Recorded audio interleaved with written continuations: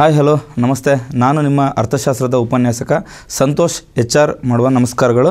ಪ್ರೀತಿಯ ವಿದ್ಯಾರ್ಥಿಗಳೇ, ಧಾರವಾಡದ K S and I A study ಸರ್ಕಲ್ಗೆ ತಮ್ಮೆಲ್ಲರಿಗೂ ಕೂಡ ಆತ್ಮೀಯ ಆತ್ಮೀಯ ಸ್ವಾಗತ. ಸ್ಪರ್ಧಾತ್ಮಕ ಪರೀಕ್ಷಾ ದೃಷ್ಟಿಕೋನವನ್ನು ಇಟ್ಕೊಂಡು ಐ ಎ ಎಸ್ನಿಂದ ಹಿಡಿದಿರತಕ್ಕಂಥ ಪ್ರಶ್ನೆ ಪತ್ರಿಕೆಗಳನ್ನು ಮತ್ತು ಪಿ ಸಿಗಳಿಂದ ಇಡ್ತಿರ್ತಕ್ಕಂಥ ಎಲ್ಲ ಪ್ರಶ್ನೆ ಪತ್ರಿಕೆಗಳನ್ನು ನೋಡಿದಾಗ ನಮಗೆ ಸಾಕಷ್ಟು ಗೊಂದಲಗಳು ಅಥವಾ ವಿಚಾರ ವಿನಿಮಯಗಳು ಇಲ್ಲದ ಪರಿಸ್ಥಿತಿಯಲ್ಲಿ ನಾವು ಒಂದು ಕಾಂಪಿಟೇಷನ್ ಫೀಲ್ಡನ್ನು ಎದುರಿಸಲಿಕ್ಕೆ ಸಾಧ್ಯ ಇಲ್ಲ. ಹಾಗಾದರೆ ಒಂದು ಸ್ಪರ್ಧಾತ್ಮಕ ಪರೀಕ್ಷೆ, ಒಂದು ಯುದ್ಧವೇ ಸರಿ, ಹಾಗಾದರೆ ಯುದ್ಧಕ್ಕೆ ಬೇಕಾಗಿರ್ತಕ್ಕಂಥ ಎಲ್ಲ ಸಾಮಗ್ರಿಗಳನ್ನು, ಆಯುಧಗಳನ್ನು ರೆಡಿ ಮಾಡ್ಕೊಂಡು ಇಟ್ಕೋಬೇಕಾಗ್ತದೆ. ಹಾಗಾದರೆ ಆ ರೀತಿ ನಾವೊಂದು ಸ್ಪರ್ಧಾತ್ಮಕ ಪರೀಕ್ಷೆಗೆ ಬಂದಾಗ ಒಂದಿಷ್ಟು ವಿಷಯಗಳನ್ನು ಅರಿಬೇಕಾಗ್ತದೆ. ಆ ವಿಷಯಗಳಿಗೆ ಸಂಬಂಧಪಟ್ಟಂತೆ ಕಂಡು ಕೇಳರಿಯದ ಪ್ರಶ್ನೆಗಳ ಭಾಗ ಯಾವುದು ಅಂದರೆ ಅರ್ಥಶಾಸ್ತ್ರ. ಅರ್ಥಶಾಸ್ತ್ರದ ಒಂದು ಇನ್ನೊಂದು ಮುಖ ಯಾವುದಂದರೆ ಆರ್ಥಿಕ ಸಮೀಕ್ಷೆ. ಇವುಗಳಲ್ಲಿ ನಾವು ಇವತ್ತು ಚರ್ಚೆ ಮಾಡಲಿಕ್ಕೆ ಹೊರಟಿರುವ ಹೊಸ ವಿಷಯ ಯಾವುದಂದರೆ ಮಾ ನರೇಗಾ ಅಂತಕ್ಕಂಥದ್ದು. ನೋಡಿರಿ, ಮಹಾತ್ಮ ಗಾಂಧಿ ನರೇಗಾ ಅಂತಕ್ಕಂಥ ಒಂದು ಯೋಜನೆಯನ್ನು ಒಂದು ಸ್ಪರ್ಧಾತ್ಮಕ ದೃಷ್ಟಿಯಿಂದ, ಪಿ ಸಿಯಿಂದ ಡಿ ಸಿ ತನಕ ಆಗಿರ್ತಕ್ಕಂಥ ಎಲ್ಲ ಪ್ರಶ್ನೆ ಪತ್ರಿಕೆಗಳನ್ನು ಇಟ್ಟು, ಒಂದಿಷ್ಟು ಅದುಗಳ ನಿಲುವುಗಳನ್ನು, ಪ್ರಶ್ನೆ ಆಗಿರ್ತಕ್ಕಂಥ ಪಾರ್ಟ್ಗಳನ್ನು ನೋಡೋದಾದರೆ ನಾವು ಈ ರೀತಿ ಅಧ್ಯಯನ ಮಾಡಬೇಕಾಗ್ತದೆ. ಹಾಗಾದರೆ ಯಾವೆಲ್ಲ ಕಾನ್ಸೆಪ್ಟ್ಗಳು ಮಾನರೇಗಕ್ಕೆ ಸಂಬಂಧಪಟ್ಟಂತೆ ಬರ್ತದೆ? ಹಾಗಾದರೆ ಇಲ್ಲಿ ನೋಡೋಣ, ಮಾನರೇಗವನ್ನು ನೋಡಲಿಕ್ಕಿಂತ ಮುಂಚೆ ನಾವುಗಳು ಯಾವುದನ್ನು ನೋಡಬೇಕು ಅಂದರೆ ಮೊದಲು ನರೇಗಾ ಅಂತಕ್ಕಂಥ ಒಂದು ಕಾನ್ಸೆಪ್ಟನ್ನು ನೋಡಬೇಕು. ರಾಷ್ಟ್ರೀಯ ಗ್ರಾಮೀಣ ಉದ್ಯೋಗ ಖಾತ್ರಿಗೆ ಸಂಬಂಧಪಟ್ಟಂತೆ ನಾವು ಇವತ್ತು ಸಾಕಷ್ಟು ವಿಷಯಗಳನ್ನು ನೋಡ್ತಿದ್ದೀವಿ. ನಮ್ಮ ದೇಶವು ಕೂಡ ಇವತ್ತು ಉದ್ಯೋಗ ಪ್ರಮಾಣದಲ್ಲಿ ಯಾವೆಲ್ಲ ಮಟ್ಟಕ್ಕೆ ಬೆಳವಣಿಗೆ ಆಗ್ತಾ ಇದೆ, ಎಷ್ಟು ಸಾಕಷ್ಟು ಪ್ರಮಾಣದಲ್ಲಿ ಇವತ್ತು ನಾವು ವ್ಯವಸಾಯದಿಂದ ಹಿಡಿದು ತಾಂತ್ರಿಕ ಮಟ್ಟದವರೆಗೂ ಕೂಡ ಉದ್ಯೋಗದಲ್ಲಿ ಸಾಕಷ್ಟು ಜನರು ಇವತ್ತು ಕೌಶಲ್ಯ ಭರಿತ ಅಥವಾ ಕೌಶಲ್ಯ ರೈತರಾಗಿ ಕೆಲಸಗಳನ್ನು ಮಾಡ್ತಾ ಇದ್ದಾರೆ. ಅವ್ರು ಯಾರೂ ಕೂಡ ಸಕ್ಸಸ್ಸನ್ನು ಕಾಣ್ತಾ ಇಲ್ಲ. ಆದರೆ ಗ್ರಾಮೀಣ ಭಾಗದಲ್ಲಿ ಇವುಗಳಿಗೆ ಸಂಬಂಧಪಟ್ಟಂತೆ ನಾವು ನೋಡ್ತಾ ಹೋದಾಗ ಇಲ್ಲೊಂದು ನರೇಗಾ ಯೋಜನೆ ಅಂತಕ್ಕಂಥದ್ದು ಮಹತ್ವಾಕಾಂಕ್ಷದ ಪೂರಕವಾಗಿ ಇಟ್ಕೊಂಡು ಇವತ್ತು ಈ ಒಂದು ಯೋಜನೆಯನ್ನು ನೋಡ್ತಾ ಹೋಗ್ತೀವಿ.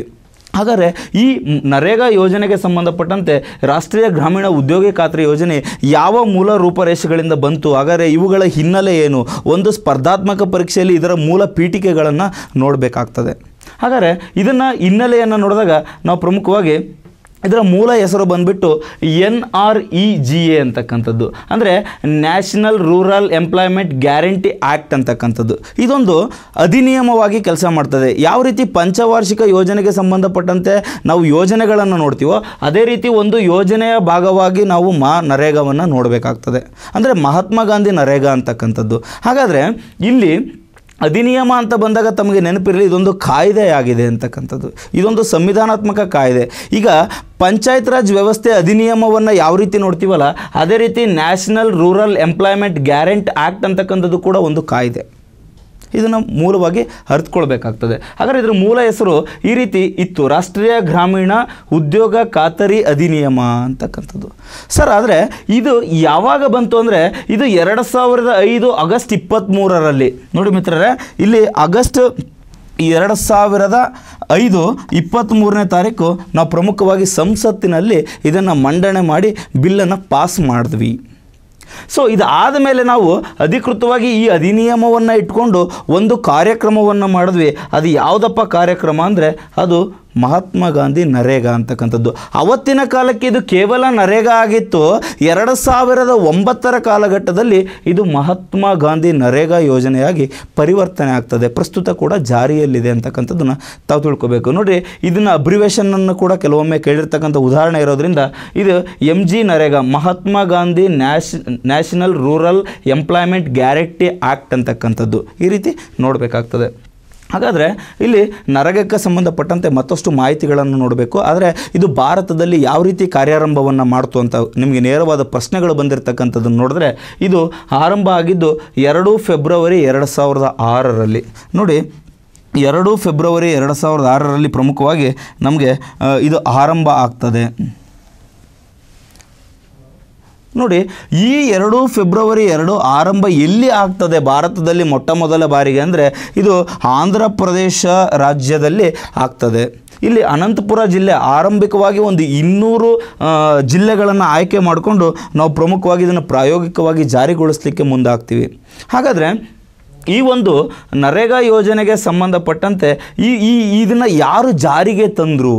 ಆಲ್ರೆಡಿ ಒಮ್ಮೆ ಪ್ರಶ್ನೆ ಆಗಿದೆ, ಎಸ್ ಟಿ ಎಗಳಲ್ಲಿ ಪ್ರಶ್ನೆ ಆಗಿದೆ. ಏನಂದರೆ, ಈ ಇದನ್ನು ತಂದಿರ್ತಕ್ಕಂಥದ್ದು ನರೇಗಾ ಯೋಜನೆಯನ್ನು ತಂದಿರತಕ್ಕಂತಹ ಸರ್ಕಾರ ಯಾವುದು ಅಂತ ಪ್ರಶ್ನೆಗಳನ್ನು ಕೇಳಿದ್ದಾನೆ ನೋಡಿ, ನಮಗೆ ಒಂದಿಷ್ಟು ಸರ್ಕಾರದ ಬಗ್ಗೆ ಜವಾಬ್ದಾರಿಯುತವಾಗಿ ಚಿಂತನೆಗಳನ್ನು ನಡೆಸಿದಾಗ ಅಥವಾ ಆಗೋಗಿರ್ತಕ್ಕಂಥ ಯಾವುದೋ ಒಂದು ವಿಚಾರವನ್ನು ಸ್ಪರ್ಧಾತ್ಮಕ ಪರೀಕ್ಷೆಯಿಂದ ಕಲಿಬೇಕಾಗ್ತದೆ. ನೋಡಿ, ಇಲ್ಲಿ ಜಾರಿಗೆ ತಂದದ್ದು ಅಂತ ಕೇಳಿದಾಗ ಯು ಪಿ ಎ ಗೌರ್ಮೆಂಟ್ ಅಂತ ಹೇಳಬೇಕಾಗ್ತದೆ. ನೋಡಿ ಯುನೈಟೆಡ್ ಪ್ರೋಗ್ರೆಸಿವ್ ಅಲೈನ್ಸ್ ಅಂತಕ್ಕಂಥದ್ದು, ಇದೇ ಪ್ರಶ್ನೆ ಪತ್ರಿಕೆಯಲ್ಲಿ ಎಸ್ ಡಿ ಎ ಪ್ರಶ್ನೆ ಪತ್ರಿಕೆಯಲ್ಲಿ ಇದೇ ಪಾರ್ಟನ್ನು ಇಟ್ಕೊಂಡು ಪ್ರಶ್ನೆಗಳನ್ನು ತಯಾರಿಸಿದ್ದಾನೆ. ಅಂದರೆ ಯುನೈಟೆಡ್ ಪ್ರೋಗ್ರೆಸಿವ್ ಮೈತ್ರಿಕೂಟ ಅಂತಕ್ಕಂಥದ್ದು, ಅವತ್ತಿನ ಕಾಲಘಟ್ಟಕ್ಕೆ ಕಾಂಗ್ರೆಸ್ ಅಂತಕ್ಕಂಥದ್ದು ಅಧಿಕಾರದಲ್ಲಿ ಇರ್ತದೆ, ಆದರೆ ಅದಕ್ಕೆ ಸಾಕಷ್ಟು ಬಹುಮತ ಸಿಗದ ಕಾರಣ ಇನ್ನೊಂದಿಷ್ಟು ಪ್ರಾದೇಶಿಕ ಪಕ್ಷಗಳನ್ನು ತನ್ನೊಳಗೆ ಇಟ್ಕೊಂಡು ಮೈತ್ರಿಕೂಟವನ್ನು ರಚಿಸ್ತದೆ. ಮೈತ್ರಿಕೂಟವನ್ನು ರಚಿಸೋದ್ರ ಮುಖಾಂತರ ಉದ್ಯೋಗಕ್ಕೆ ಸಾಕಷ್ಟು ಬೆಳವಣಿಗೆಯನ್ನು ಮಾಡಬೇಕು, ಉದ್ಯೋಗದಲ್ಲಿ ಹೊಸ ಆಯಾಮಗಳನ್ನು ಸೃಷ್ಟಿ ಮಾಡಬೇಕು ಅಂತೇಳಿ ಇದು ಒಂದು ಕಾರ್ಯಕ್ರಮವನ್ನು ಮಾಡ್ತದೆ. ಯುನೈಟೆಡ್ ಪ್ರೋಗ್ರೆಸಿವ್ ಅಲೈನ್ಸ್ ಅಂತಕ್ಕಂಥದ್ದು ಪ್ರಮುಖವಾಗಿ ಒಂದು ಕಾರ್ಯಕ್ರಮ ಮಾಡ್ತದೆ. ಅದು ಯಾವುದಪ್ಪ ಅಂದರೆ N R E G A ಅಂತಕ್ಕಂಥದ್ದು. ನೋಡಿ, ಈ ಎನ್ ಆರ್ ಜಿ ಎ ಅಂತಕ್ಕಂಥದ್ದನ್ನ ನಾವು ಈ ರೀತಿ ನೋಡ್ತೀವಿ. ಆದರೆ ಯಾವುದೇ ಒಂದು ಯೋಜನೆಗೆ ತನ್ನದೇ ಆದ ದೇಹವ್ಯಾಕ್ಯ ಕೂಡ ಇರ್ತದೆ, ಥೀಮ್ ಇರ್ತದೆ. ಏನಿದೆ ಅಂದರೆ, ದ ರೈಟ್ ಟು ವರ್ಕ್ ಅಂತಕ್ಕಂಥದ್ದು ಈ ಮನೆಗ್ರಹ ಯೋಜನೆಗೆ ಸಂಬಂಧಪಟ್ಟಂತೆ, ಮಾ ನರೇಗಕ್ಕೆ ಸಂಬಂಧಪಟ್ಟಂತೆ ಅಥವಾ ನರೇಗಾ ಯೋಜನೆಗೆ ಸಂಬಂಧಪಟ್ಟಂತೆ ಈ ಒಂದು ದೇಹ ವ್ಯಾಕ್ಯವನ್ನು ನಾವು ನೋಡ್ತಾ ಹೋಗ್ತೀವಿ. ದ ರೈಟ್ ಟು ವರ್ಕ್ ಅಂತಕ್ಕಂಥದ್ದು ನಾವು ಪ್ರಮುಖವಾಗಿ ನೋಡ್ತೀವಿ. ಇದು ಸ್ಪರ್ಧಾತ್ಮಕ ಪರೀಕ್ಷೆಯಿಂದ ಕೆಲವೊಮ್ಮೆ ಈಗ ನೀವು ಪಿ ಸಿಯಿಂದ ಡಿ ಸಿ ಅಂತಕ್ಕ ಆಗಿರ್ತಕ್ಕಂಥ ಪ್ರಶ್ನೆ ಪತ್ರಿಕೆಗಳನ್ನು ನೋಡ್ತೀರಾ? ಇದರಲ್ಲಿ ಅಂತಾರಾಷ್ಟ್ರೀಯ ಮಹಿಳಾ ದಿನಾಚರಣೆ ಮೇಲೆ ಆದಾಗ ಅವುಗಳ ಥೀಮ್ ಏನು? ಒಲಿಂಪಿಕ್ಸ್ ಆದಾಗ ಅವುಗಳ ಥೀಮ್ ಏನು ಅಂತ ಕೇಳ್ತಾರೆ. ಅದೇ ರೀತಿ ನರೇಗದ ಥೀಮ್ ಏನಪ್ಪ ಅಂದರೆ ನಾವು ಪ್ರಮುಖವಾಗಿ ದ ರೈಟ್ ಟು ವರ್ಕ್ ಅಂತಕ್ಕಂಥದ್ದನ್ನು ಹೇಳಬೇಕಾಗ್ತದೆ. ಸರಿ, ಹಾಗಾದರೆ ನರಕಕ್ಕೆ ಸಂಬಂಧಪಟ್ಟಂತೆ ಈ ರೀತಿ ಕಾನ್ಸೆಪ್ಟ್ಗಳನ್ನು ನೋಡ್ತೀವಿ. ಅದೇ ರೀತಿ ಪ್ರಾಯೋಗಿಕವಾಗಿ ಇದನ್ನು ಆಂಧ್ರ ಪ್ರದೇಶ ಜಿಲ್ಲೆ ಆಂಧ್ರ ಪ್ರದೇಶ ರಾಜ್ಯದಲ್ಲಿ ನಾವು ಮಾಡ್ತಾ ಹೋಗ್ತೀವಿ. ನೆಕ್ಸ್ಟ್ ಮುಂದುವರೆದು ಇಲ್ಲಿ ನರೇಗಾ ಅಂತಕ್ಕಂಥದ್ದು. ಗಾಂಧೀಜಿಯವರ ಒಂದು ಪಂಚಾಯತ್ ರಾಜಿಗೆ ಸಂಬಂಧಪಟ್ಟಂತೆ ಈ ಕನಸು ಗಾಂಧೀಜಿಯವರದಾಗಿತ್ತು. ಗ್ರಾಮೀಣ ಭಾಗದಲ್ಲಿ ಸಾಕಷ್ಟು ಜನರಿಗೆ ಉದ್ಯೋಗಾವಕಾಶಗಳನ್ನು ಕಲ್ಪಿಸಿಕೊಡಬೇಕಾಗಿದೆ. ಯಾರೆಲ್ಲ, ಯಾವ ಉದ್ದೇಶಗಳನ್ನೆಲ್ಲ, ಯಾರೆಲ್ಲ ಕೌಶಲ್ಯ ರಹಿತ ಅಥವಾ ಕೌಶಲ್ಯ ಬರಿತಾ ಇದ್ದಾರೋ ಆ ರೀತಿ ನಾವು ಉದ್ಯೋಗಗಳನ್ನು ಕೊಡ್ತಾ ಹೋಗಬೇಕಾಗ್ತದೆ. ಒಬ್ಬ ಟೀಚರ್ಗೆ ಅವನಿಗೆ ಒಂದು ಸ್ಕೂಲ್ಗಳನ್ನು ಕೊಡ್ತಕ್ಕಂಥದ್ದು, ಒಬ್ಬ ತರಗಾರನಿಗೆ ಅವನಿಗೆ ಬೇಕಾಗಿರ್ತಕ್ಕಂಥ ಕೆಲಸಗಳನ್ನು ಕೊಡ್ತಕ್ಕಂಥದ್ದು, ಇವೆಲ್ಲವೂ ಕೂಡ ಒಂದು ಉದ್ಯೋಗ ಸೃಷ್ಟಿಯ ಕಾರ್ಯಕ್ರಮಗಳೇ. ಅದೇ ರೀತಿ ಇಲ್ಲಿ ಎರಡು ಸಾವಿರದ ಆರರಲ್ಲಿ ಆರಂಭಗೊಂಡಿರ್ತಕ್ಕಂತಹ, ನೋಡಿ, ಎರಡು ಸಾವಿರದ ಆರರಲ್ಲಿ ಆರಂಭಗೊಂಡಿರ್ತಕ್ಕಂತಹ ಒಂದು ನರೇಗಾ ಯೋಜನೆಯು ಕರ್ನಾಟಕದಲ್ಲೂ ಕೂಡ ತನ್ನ ಛಾಪನ್ನು ಮೂಡಿಸ್ತು. ಯಾವ ರೀತಿಯಪ್ಪ ಅಂದರೆ, ಕರ್ನಾಟಕಕ್ಕೆ ಸಂಬಂಧಪಟ್ಟಂತೆ ಪ್ರಮುಖವಾಗಿ ಕರ್ನಾಟಕಕ್ಕೆ ಸಂಬಂಧಪಟ್ಟಂತೆ ನೋಡಿರಿ, ಇದು ಹೊಸ ಚಿತ್ರಣವನ್ನು ಕರ್ನಾಟಕಕ್ಕೆ ಸಂಬಂಧಪಟ್ಟಂತೆ ಹಾಕ್ತೀನಿ. ಯಾವುದ, ಯಾವ್ಯಾವ ರೀತಿ ಇದೆ ಅಂದರೆ, ಪ್ರಮುಖವಾಗಿ, ಒಂದು ಕರ್ನಾಟಕವನ್ನು ನೋಡಿದ್ರೆ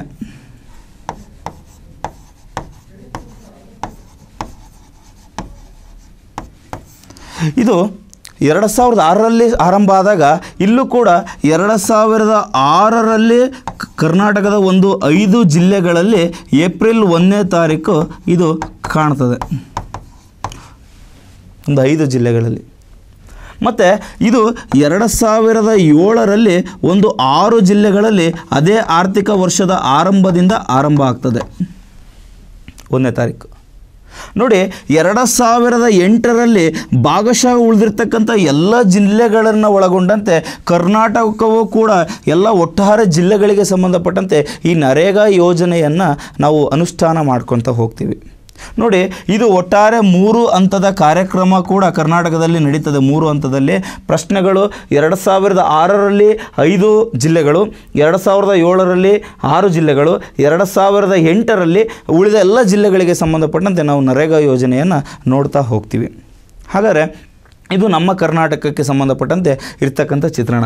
ಹಾಗಾದರೆ ನಾವು ಮತ್ತೆ ಕರ್ನಾಟಕದ ಒಂದು ಚಿತ್ರಣವನ್ನು ನೋಡಿದ ಮೇಲೆ ಮತ್ತೆ ಅದು ತನ್ನ ಹೆಸರನ್ನು ಬದಲಾವಣೆ ಮಾಡಿಕೊಳ್ತದೆ. ಯಾಕಂದರೆ ಮಹಾತ್ಮ ಗಾಂಧೀಜಿಯವರು ಈ ಕನಸನ್ನು ಕಟ್ಟಿದ್ರು. ಪಂಚಾಯತ್ಗೆ ಸಂಬಂಧಪಟ್ಟಂತೆ ವಿಧಿ ನಲವತ್ತನೇ ವಿಧಿಯನ್ನು ಕೂಡ ನಾವು ನೋಡ್ತಾ ಹೋಗ್ತೀವಿ. ಹಾಗಾದರೆ ಇದು ಒಂದು ಯೋಜನೆಯಾಗಿ ಇವತ್ತು ಕಾರ್ಯರೂಪಕ್ಕೆ ಬರ್ತಾ ಇದೆ. ಹಾಗಾದರೆ ಈ ಕಾರ್ಯರೂಪಕ್ಕೆ ಬಂದಿರತಕ್ಕಂಥ ಯೋಜನೆಯ ಹೆಸರು ಬದಲಾವಣೆ ಆಗ್ತದೆ. ನೋಡಿ, ಪಿ ಎಸ್ ಐ ಎರಡು ಸಾವಿರದ ಹದಿಮೂರರಲ್ಲಿ ಕೇಳಿರ್ತಕ್ಕಂಥ ಪ್ರಶ್ನೆಯನ್ನು ನೋಡಿದ್ರೆ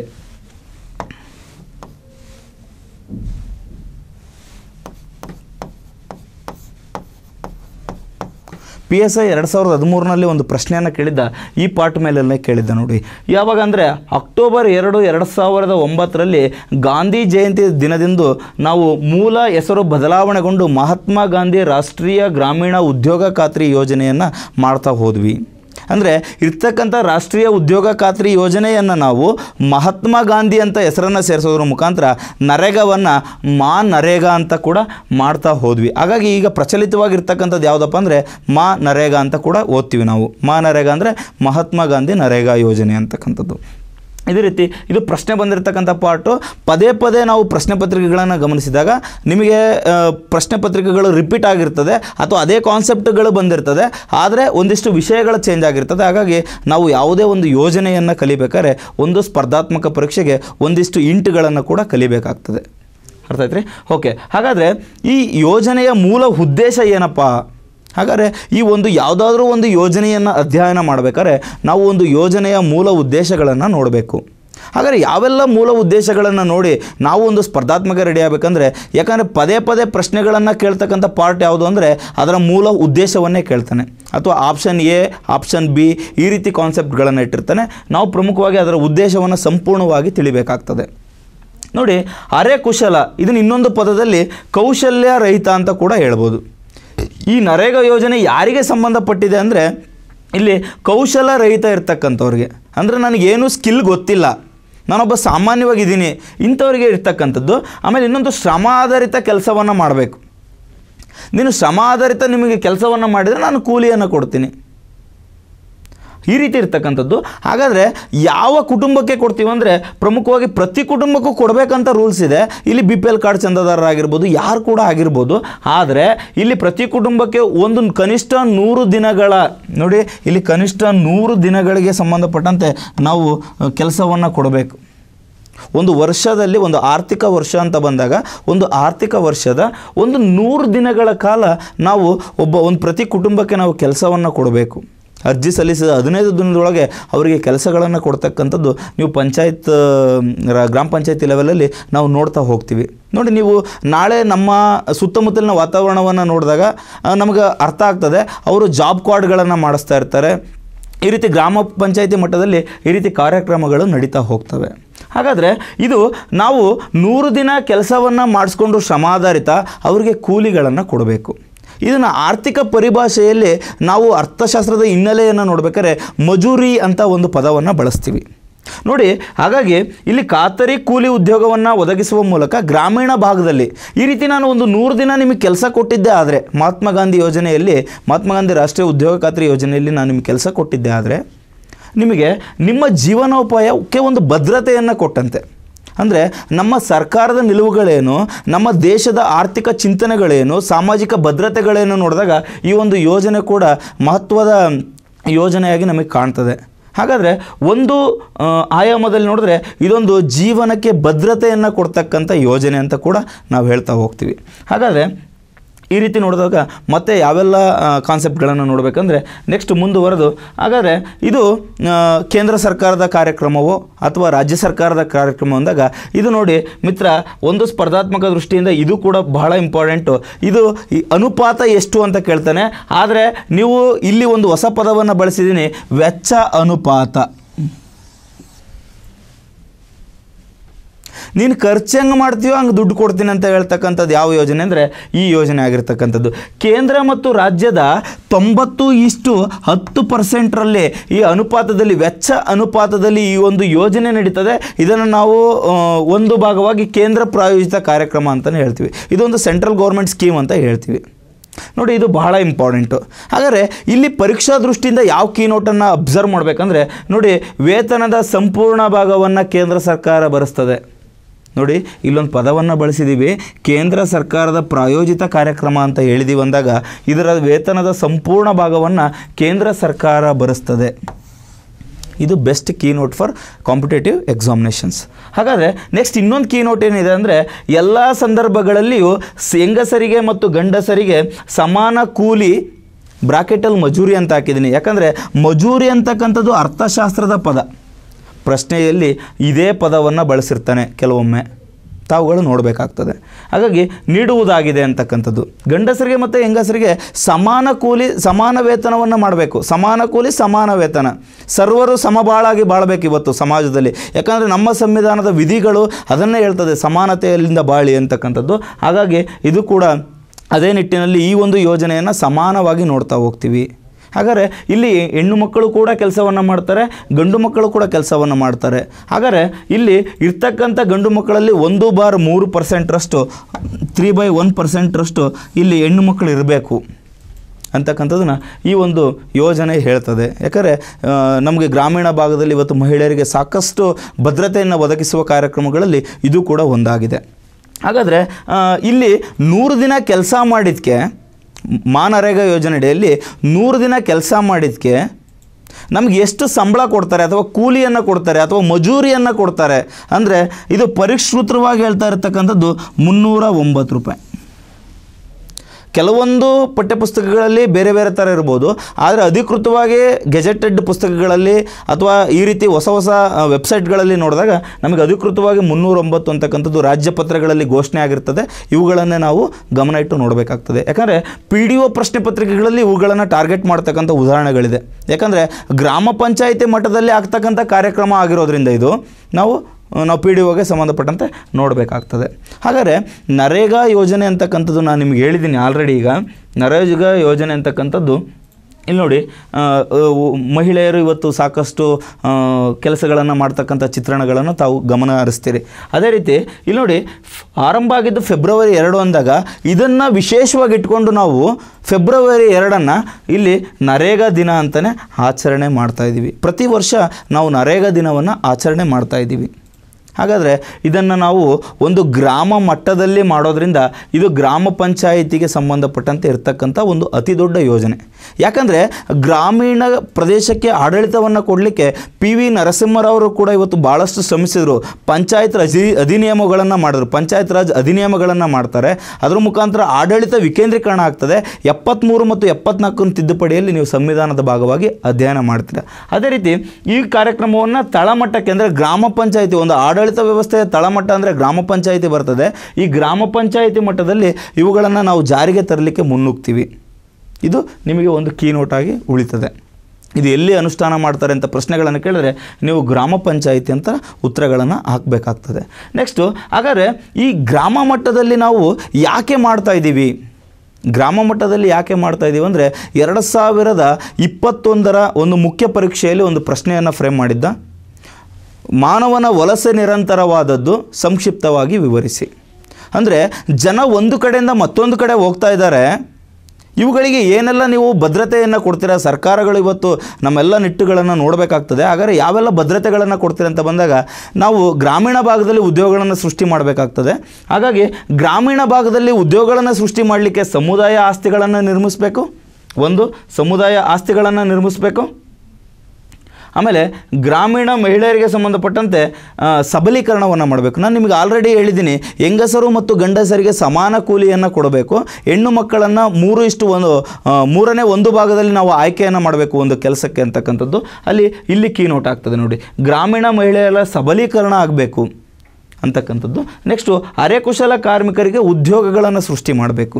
ಅಂದರೆ ನನಗೆ ಏನೂ ಸ್ಕಿಲ್ ಗೊತ್ತಿಲ್ಲ, ನಾನು ಸಾಮಾನ್ಯವಾಗಿದ್ದೀನಿ, ನಾನು ದೈಹಿಕವಾಗಿ ಬಲಿಷ್ಠನಾಗಿದ್ದೀನಿ, ನನಗೆ ಏನಾದರೂ ಕೆಲಸ ಬೇಕು ಅಂದರೆ ನಾವು ಅರೆಕುಶಲ ಕಾರ್ಮಿಕರಿಗೆ ಉದ್ಯೋಗಗಳನ್ನು ಸೃಷ್ಟಿ ಮಾಡಿಕೊಟ್ಟಂಗೆ. ಇವತ್ತು ಯಾವುದೋ ಸಾಫ್ಟ್ವೇರ್ ಇಂಜಿನಿಯರ್ಗೆ ನಾನು ನೂರು ದಿನ ಕೆಲಸವನ್ನು ಕೊಡ್ತಿದ್ದೀನಿ ಅಂತ ಅಲ್ಲ, ಇಲ್ಲಿ ನನಗೆ ಅರೆಕುಶಲ ಗ್ರಾಮೀಣ ಭಾಗದಲ್ಲಿ ಉದ್ಯೋಗಗಳನ್ನು ಸೃಷ್ಟಿ ಮಾಡಲಿಕ್ಕೆ ನನಗೇನೂ ಗೊತ್ತಿಲ್ಲ ಅನ್ನೋರಿಗೆ ನಾವು ಕೆಲಸವನ್ನು ಕೊಡ್ತಾ ಇದ್ದೀವಿ ಅಂತಕ್ಕಂಥದ್ದು. ನೆಕ್ಸ್ಟು ಗ್ರಾಮೀಣ ಜನರ ವಲಸೆಯನ್ನು ಕಡಿಮೆ ಮಾಡಬೇಕು. ನೋಡಿ, ಎರಡು ಸಾವಿರದ ಇಪ್ಪತ್ತೊಂದರ ಮುಖ್ಯ ಪರೀಕ್ಷೆ ಪ್ರಶ್ನೆ ಅನ್ನಲ್ರಿ ಇದ್ರ ಕಾನ್ಸೆಪ್ಟ್ ಕೂಡ ಇಲ್ಲೇ ಇದೆ. ನಾವು ಅಧ್ಯಯನ ಮಾಡ್ತಾ ಹೋಗಬೇಕಾಗ್ತದೆ, ಮತ್ತು ಸಾಕಷ್ಟು ಆಳವಾದ ಅಧ್ಯಯನ ಮಾಡೋದ್ರ ಮುಖಾಂತರ ಒಂದು ಯೋಜನೆಯನ್ನು ಕಲಿಬೇಕಾಗ್ತದೆ. ಗ್ರಾಮೀಣ ಜನರ ನಗರ ವಲಸೆಯನ್ನು ಕೂಡ ಕಡಿಮೆ ಮಾಡುವುದು. ಇವನ್ನೆಲ್ಲ ಕಡಿಮೆ ಮಾಡಬೇಕಂದ್ರೆ ಒಂದು ಉದ್ಯೋಗವನ್ನು ಸೃಷ್ಟಿ ಮಾಡಬೇಕು. ಆ ಉದ್ಯೋಗವನ್ನು ಸೃಷ್ಟಿ ಮಾಡೋದು ಯಾವುದು ಕಾರ್ಯಕ್ರಮ ಇದೆ ಅಂದರೆ ಭಾರತದಲ್ಲಿ ಮಾ ನರೇಗಾ ಯೋಜನೆ ಅಂತಕ್ಕಂಥದ್ದು ಇವತ್ತು ಇದೆ. ಹಾಗಾದರೆ ಆ, ಇಲ್ಲಿ ಸಾಮಾಜಿಕ ಸಮಾನತೆಯನ್ನು ಕೂಡ ಉತ್ತೇಜಿಸಬೇಕಾಗ್ತದೆ. ನೋಡಿ ಹೆಣ್ಣು ಮತ್ತು ಗಂಡನ ಸಮಾನ ದೃಷ್ಟಿಕೋನದಲ್ಲಿ ನಾವು ನೋಡ್ತಾ ಹೋಗ್ತೀವಿ. ಇದು ಕೂಡ ಒಂದು ಕೀ ನೋಟ್ ಆಗ್ತದೆ. ಒಂದು ನಾಲ್ಕೈದು ಕೀ ನೋಟ್ಗಳು ಗೊತ್ತಿದ್ದರೆ ಯಾವುದು ಗೊತ್ತಿಲ್ವಲ್ಲ ಅದನ್ನು ನಾವು ಆಯ್ಕೆ ಮಾಡಬೇಕಾಗ್ತದೆ. ಪ್ರಶ್ನೆ ಪತ್ರಿಕೆಯಲ್ಲಿ ಎ ಮತ್ತು ಬಿ ಅಂತನಾದರೂ ಕೇಳ್ಬೋದು, ಎ, ಬಿ, ಸಿ ಅಂತನಾದರೂ ಕೇಳ್ಬೋದು, ಮೇಲಿನ ಎಲ್ಲವೂ ಅಂತ ಕೇಳ್ಬೋದು. ನಿಮಗೆ ಕಾನ್ಸೆಪ್ಟ್ಗಳು ಗೊತ್ತಾದಾಗ ಮಾತ್ರ ಇವುಗಳಲ್ಲಿ ಯಾವುದು ಅಲ್ಲ ಅಥವಾ ಯಾವುದು ಹೌದು ಅಂತಕ್ಕಂಥದ್ದು ನಿಮಗೆ ಗೊತ್ತಾಗ್ತದೆ. ಹಾಗಾಗಿ ಒಂದು ಸ್ಪರ್ಧಾತ್ಮಕ ಪರೀಕ್ಷೆಗೆ ಒಂದಿಷ್ಟು ಚೌಕಟ್ಟನ್ನು ಮಾಡಿಕೊಂಡು ತಾವುಗಳು ಕಲಿಬೇಕಾಗ್ತದೆ. ಇದೇ ರೀತಿ ಸಾಮಾಜಿಕ ಭದ್ರತೆ ಆಗಿರ್ಬೋದು, ಜನರ ವಲಸೆ ಆಗಿರ್ಬೋದು, ಕಾರ್ಮಿಕರ ಉದ್ಯೋಗ ಆಗಿರ್ಬೋದು, ಮಹಿಳೆಯರ ಸಬಲೀಕರಣ ಆಗಿರ್ಬೋದು, ಮತ್ತು ಆ ಸಮುದಾಯದ ಆಸ್ತಿಗಳನ್ನು ನಿರ್ಮಾಣ ಮಾಡೋದು. ಸಮುದಾಯದ ಆಸ್ತಿಗಳನ್ನು ಹೆಂಗೆ ನಿರ್ಮಾಣ ಮಾಡಬೇಕಂದ್ರೆ ಶಾಶ್ವತವಾಗಿರಬೇಕು. ಇವತ್ತು ಮಾಡಿರ್ತಕ್ಕಂಥ ಕೆಲಸ ಇನ್ನೊಂದು ಹತ್ತಾರು ವರ್ಷಗಳದು ಇರಬೇಕು. ಅಂಥ ಕೆಲಸಗಳನ್ನು ಮಾಡಬೇಕು ಅಂತಕ್ಕಂಥದ್ದು ಒಂದು ನರೇಗಾ ಯೋಜನೆಯು ತಮಗೆ ತಿಳಿಸ್ಕೊಡ್ತದೆ.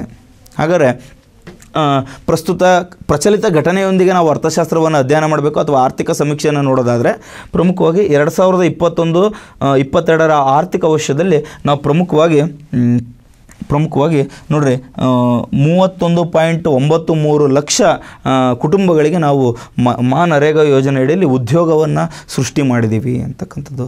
ಪ್ರಶ್ನೆ ಯಾವ ರೀತಿ ಬಂದರೂ ಕೂಡ ಉತ್ತರ ಮಾಡಲಿಕ್ಕೆ ಸಾಕಷ್ಟು ಪರಿಶ್ರಮವನ್ನು ಹಾಕಿದ್ದೀವಿ ಇದ್ರ ಮೇಲೆ. ಹಾಗಾಗಿ ನೀವು ಕೀ ನೋಟ್ಗಳನ್ನು ಬರ್ಕೊಳ್ಳೋದಾಗಿರ್ಬೋದು. ಪ್ರಚಲಿತ ಘಟನೆ ಮೇಲೆ ಒಂದು ಕಾನ್ಸೆಪ್ಟ್ ಒಂದು ಆರ್ಥಿಕ ಸಮೀಕ್ಷೆಯು ಒಂದು ಮುಖ್ಯ ಪರೀಕ್ಷೆಯಿಂದ ಹಿಡಿದು ಒಂದು ಸ್ಪರ್ಧಾತ್ಮಕ ಎಲ್ಲ ಪರೀಕ್ಷೆಗಳಿಗೂ ಬೇಕಾಗಿರೋದ್ರಿಂದ ಅಂಕಿಅಂಶ, ದತ್ತಾಂಶಗಳನ್ನು ತಾವುಗಳು ಗಮನ ಇಟ್ಟು ನೋಡಬೇಕಾಗ್ತದೆ.